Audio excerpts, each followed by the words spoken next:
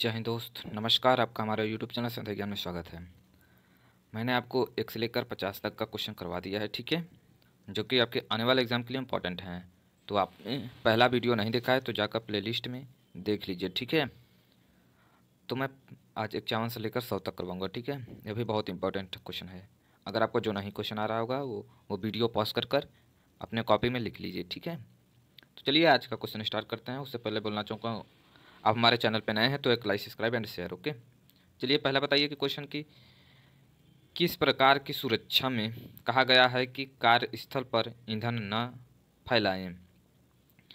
तो इसका सही आंसर हो जाएगा ऑप्शन नंबर एक, यानी कि सामान्य सुरक्षा। ठीक है जनरल सेफ्टी में यह कहा गया है कि कार्यस्थल पर ईंधन न फैलाएँ, ओके? चलिए, आगे देखते हैं। सेकेंड नंबर कि डीजल मशीन को संभालने में अपनाई जाने वाली सुरक्षा सावधानी कौन सी है? तो इसका सही आंसर हो जाएगा ऑप्शन नंबर बी, ठीक है? यानी कि घूमने वाले हिस्सों का सेफ़ गार्ड निकालें, ठीक है? यानी कि moving safeguards of rotating parts okay? चलिए आगे देखते हैं। बताइए, गंभीर रूप से रक्तस्राव वाले खुले घाव के लिए किस प्रकार की प्राथमिक चिकित्सा देखभाल की जाती है, ठीक है? तो इसका सही आंसर हो जाएगा ऑप्शन नंबर सी, ठीक है? यानी कि रक्तस्राव को रोकने के लिए घाव के पास दबाओ, ठीक है? अगर आपके कहीं रक्तस्राव हो रहा है तो प्राथमिक चिकित्सा में यही है कि जहाँ से आपका खून यानी रक्त निकल रहा है, उसको दबा दें, ठीक है? चलिए आगे देखते हैं। बताइए, ऊर्जा संरक्षण का प्रमुख अवसर कौन सा है?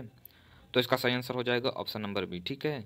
मशीनरी बदलना, ओके? ऊर्जा संरक्षण का प्रमुख अवसर है मशीनरी बदलना। चलिए आगे देखते हैं।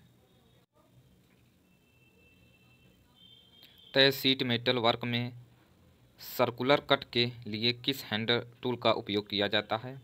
तो इसका सही आंसर हो जाएगा ऑप्शन नंबर बी ठीक है? बैंड स्पिन का उपयोग किया जाता है। इंपॉर्टेंट क्वेश्चन है, ठीक है? याद कर लीजिए।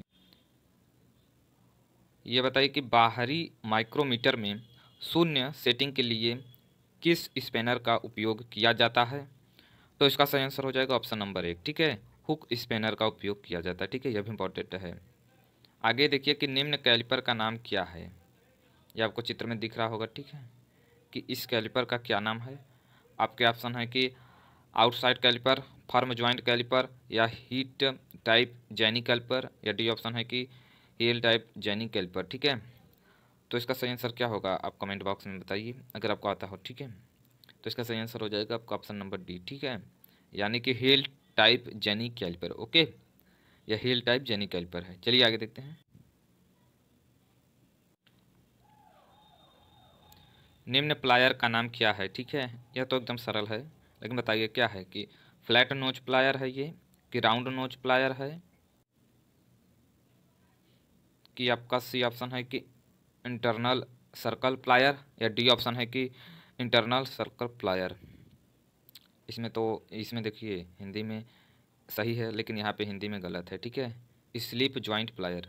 तो इसका सही आंसर भी यही हो जाएगा, ठीक है? Option number C. यानी कि ये स्लिप ज्वाइंट प्लायर है, ठीक है? ये चित्र में आपका स्लिप ज्वाइंट प्लायर, ओके? इसका नाम स्प्लिट ज्वाइंट प्लायर है, याद कर लीजिए। चलिए आगे देखते तो बताइए कि एक्स के रूप में चिन्हित भाग का क्या नाम है, ठीक है? यह तो एकदम सरल ही है, ठीक है? ये आपका क्या है? फेस है या फिर चिक है, या पेन या पिन, यानी कि वेड्स या फिर पेन। सॉरी इसमें देखिए फिर हिंदी में गलती ही दिया है, ठीक है? इंग्लिश ही आप देखिए ऑप्शन में।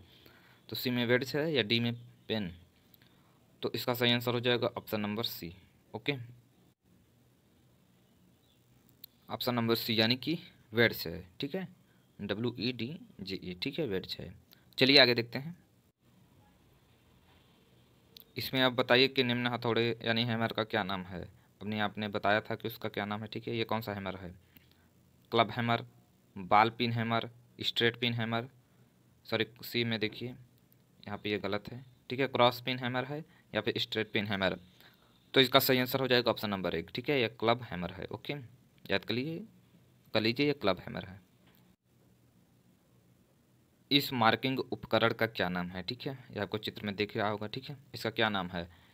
बेबल गेज या बी ऑप्शन है कि बेबल प्रोटेक्टर या सी ऑप्शन है कि यूनिवर्सल बेबल गेज या डी ऑप्शन है कि यूनिवर्सल सरफेस गेज, ठीक है? यहाँ सी में देखिए, हिंदी में देखिए, ठीक है? इंग्लिश में सही सही है।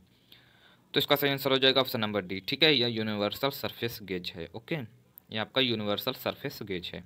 चलिए आगे देखते हैं। बताइए कि निम्न कैलिपर का नाम क्या है? यानी कि what is the name of caliper ठीक है? फर्म ज्वाइंट कैलिपर या फिर स्प्रिंग ज्वाइंट कैलिपर या आउटसाइड कैलिपर या इनसाइड कैलिपर ठीक है?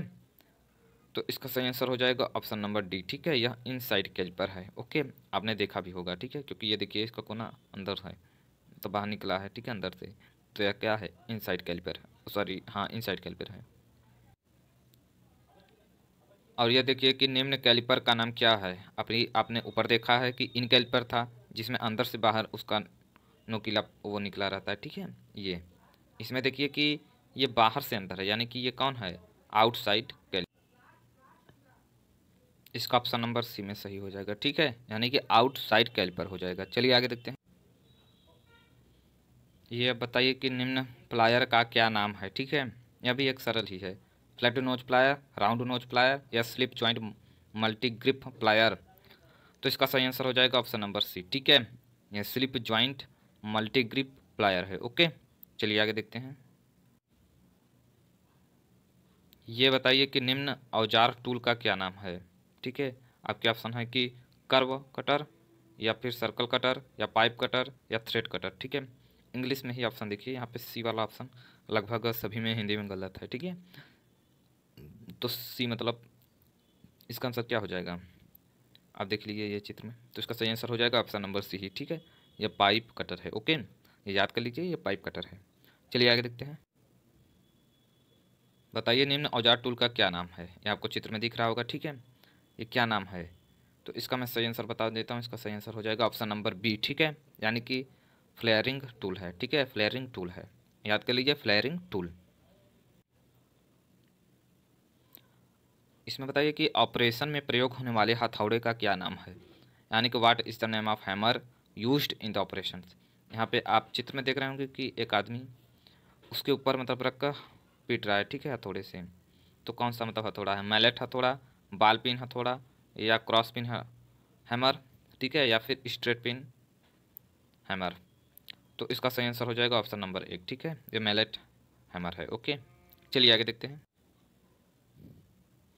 निम्न प्लायर का क्या नाम है, ठीक है? चित्र से बहुत ही अच्छा क्वेश्चन आएगा आपके एग्ज़ाम में। तो इसलिए चित्र किसी भी टूल का हो, उसे आप याद ज़रूर कर लीजिए, ठीक है? तो इसका क्या हो जाएगा? किस प्रकार का प्लायर है? तो इसका आंसर हो जाएगा ऑप्शन नंबर सी ठीक है? यहाँ कॉम्बिनेशन सॉरी मतलब साइड कटर प्लायर है ओके यहाँ पे साइड कटर प्लायर है। इससे ही आपका तार और काटा जाता है, ठीक है? यह साइड कटर प्लायर है। चलिए आगे देखते हैं। बताइए कि निम्न सर्किट कुंजी का क्या नाम है? यानी कि what is the name of circuit की तो इसका सही आंसर हो जाएगा आपका ऑप्शन नंबर बी ठीक है? ऑप्शन नंबर बी में मतलब हेक्सागोनल सर्किट की ओके यानी सस्टबुड सॉकेट कुंजी, इसका नाम है ओके चलिए आगे देखते हैं। इसमें आप बताइए कि निम्न वाइस का क्या नाम है, ठीक है? या वाइस है, इसका क्या नाम है? Pipe vice hand vice pin vice या टूल्स या टूल मेकर्स वाइस तो इसका सही आंसर हो जाएगा ऑप्शन नंबर सी ठीक है? ये आपका हिंदी में गलत है। ठीक है, ऑप्शन नंबर सी, यानी कि हम पिन वाइज है ओके? चलिए आगे देखते हैं। बताइए कि निम्न स्क्रू ड्राइवर का क्या नाम है, ठीक है? ये आपका चित्र में दिख रहा होगा आसानी से, ठीक है? तो इसका क्या नाम है? इसके ऑप्शन ये नीचे आपको दिए गए हैं, ठीक है? तो इसका सही आंसर हो जाएगा ऑप्शन नंबर सी, ठीक है? यानी कि स्टम्प स्क्रू ड्राइवर है, ठीक है? स्टम्प स्क्रू ड्राइवर इसे हिंदी ना दिखें, ठीक है? हिंदी क्योंकि सी में लगभग सभी का गलत ही है तो इसका स्टम्प स्क्रू ड्राइवर है, ओके? याद कर लीजिए, ये इंपॉर्टेंट है। चलिए आगे देखते हैं। बताइए कि निम्न स्क्रू ड्राइवर का क्या नाम है, ठीक है? आपको चित्र में दिख रहा होगा।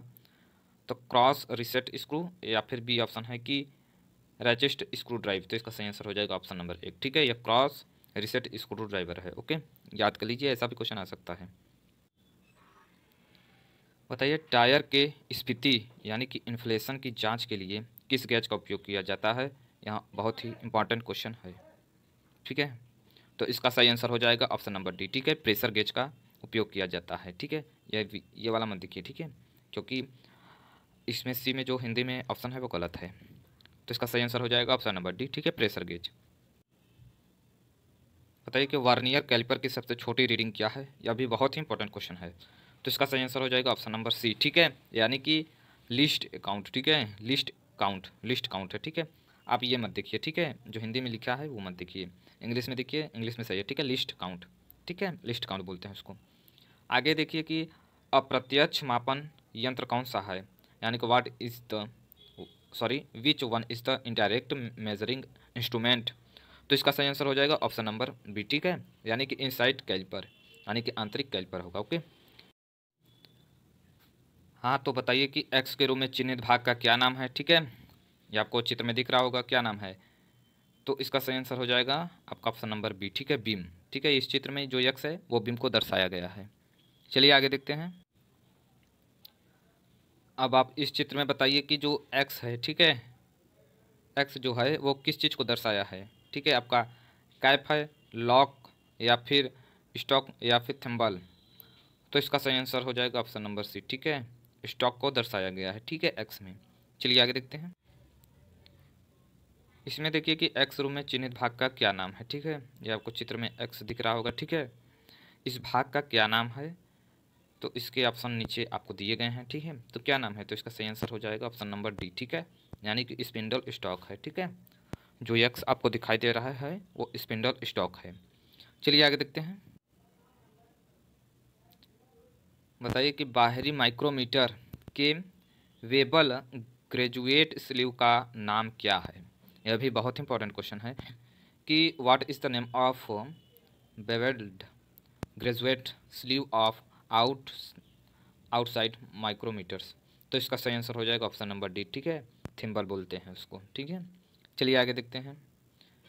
अस्सी नंबर बताइए कि फ्लेयरिंग क्या है? यानी कि व्हाट इज़ फ्लेयरिंग तो इसका सही आंसर हो जाएगा ऑप्शन नंबर एक, ठीक है? यानी कि एक ट्यूब एंड के व्यास में वृद्धि, ठीक है?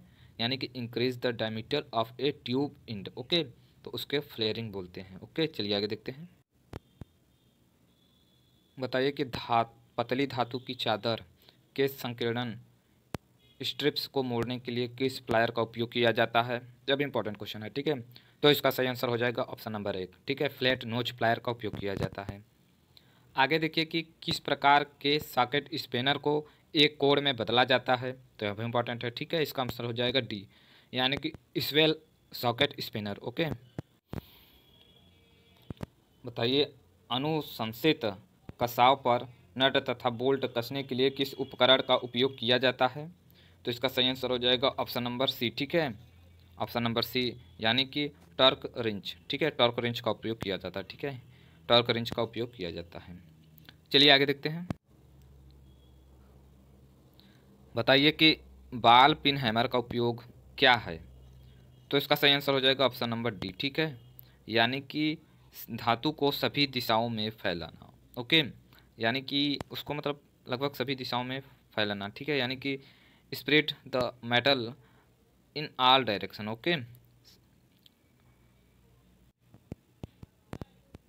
बताइए, एकल मोटाई वाले प्लायर के लिए किस धातु की ट्यूब का उपयोग किया जाता है? यह भी इंपॉर्टेंट क्वेश्चन है, ठीक है? तो एकल मोटाई वाली प्लेयर के लिए किस धातु का उपयोग किया जाता है? तो इसका सही आंसर हो जाएगा ऑप्शन नंबर डी ठीक है? कॉपर ठीक है? कॉपर का उपयोग किया जाता है। अब छियासी नंबर बताइए कि हथौड़े को कैसे निर्दिष्ट किया जाता है? यानी कि how the hammers are specified okay ये रहा आपका ऑप्शन ठीक है? ये रहा ऑप्शन ऑप्शन की वज़न और आकार द्वारा, या आकार और आकृति द्वारा, या मटल एंड शेप द्वारा, ठीक है? या मटल एंड वेट द्वारा, ठीक है? तो इसका सही आंसर हो जाएगा ऑप्शन नंबर एक, ठीक है? कि वेट एंड शेप द्वारा होता है ओके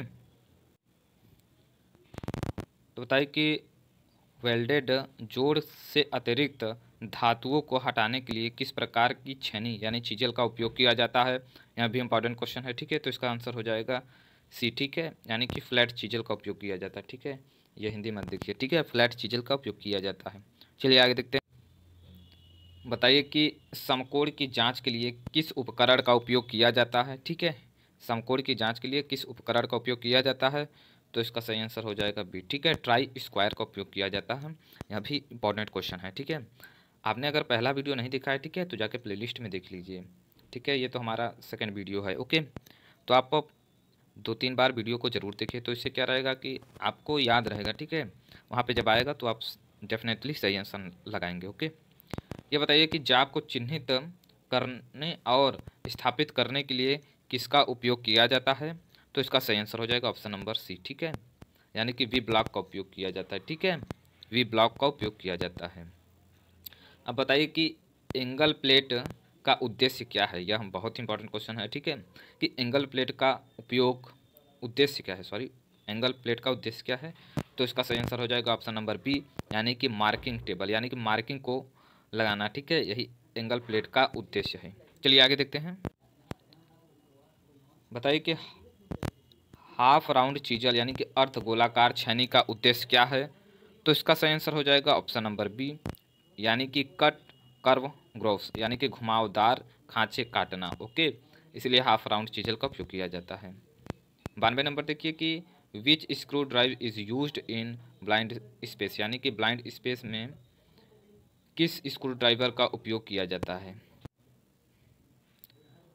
तो इसका सही आंसर हो जाएगा ऑप्शन नंबर बी में, ठीक है? यानी कि ऑफसेट स्क्रू ड्राइवर का, ओके? ऑफसेट स्क्रू ड्राइवर का उपयोग किया जाता है। चलिए आगे देखते हैं। यहाँ बताइए कि हथौड़े में क्रॉस पिन का उद्देश्य क्या है? ठीक है, हथौड़े में क्रॉस पिन का उद्देश्य क्या है? तो इसका सही आंसर हो जाएगा ऑप्शन नंबर डी, ठीक है? यानी कि धातुओं को एक दिशा में फैलाना फैलाना, ओके? यानी कि spread the metal in one direction, okay? इसलिए हथौड़े में क्रॉस पिन का उपयोग किया जाता है। आगे देखिए कि हेक्सागोनल एलन कुंजी का आकार कौन प्रदर्शित करता है? यह भी बहुत इंपॉर्टेंट क्वेश्चन है, ठीक है? तो इसका हो जाएगा ऑप्शन नंबर डी ओके यानी कि size cross the flat okay size cross the flat यानी कि फ्लैट के अक्रॉस द्वारा ओके चलिए आगे देखते हैं। यहाँ पे आप बताइए कि स्क्रू ड्राइवर कैसे निर्दिष्ट किया जाता है? यानी कि how is the screw driver is specified तो इसका सही आंसर हो जाएगा ऑप्शन नंबर एक, ठीक है? यानी कि ब्लेड की लंबाई और टिप की चौड़ाई द्वारा ओके यह भी इंपॉर्टेंट है। आगे देखिए कि डायल गेज द्वारा इंजन के किस भाग को मापा जाता है, यह बहुत ही इंपॉर्टेंट क्वेश्चन है, ठीक है? इसको आप स्टाइल लगवा लीजिए, ठीक है? कि डायल गेज द्वारा इंजन के किस भाग को मापा जाता है तो इसका सही आंसर हो जाएगा ऑप्शन नंबर डी ठीक है? यानी कि सिलेंडर बुर को मापा जाता है ओके और ये भी बहुत इंपॉर्टेंट क्वेश्चन है, इसको भी आप टिक लगा लीजिए, ठीक है? कि डायल टेस्ट इंडिकेटर का सिद्धांत क्या है?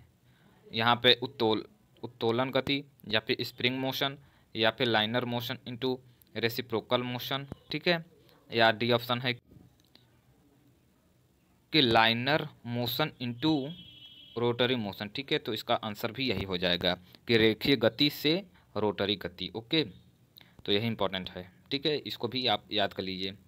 अट्ठानवे नंबर बताइए कि क्रैंक सॉफ्ट जनरल के रन आउट की जाँच के लिए किस उपकरण का उपयोग किया जाता है?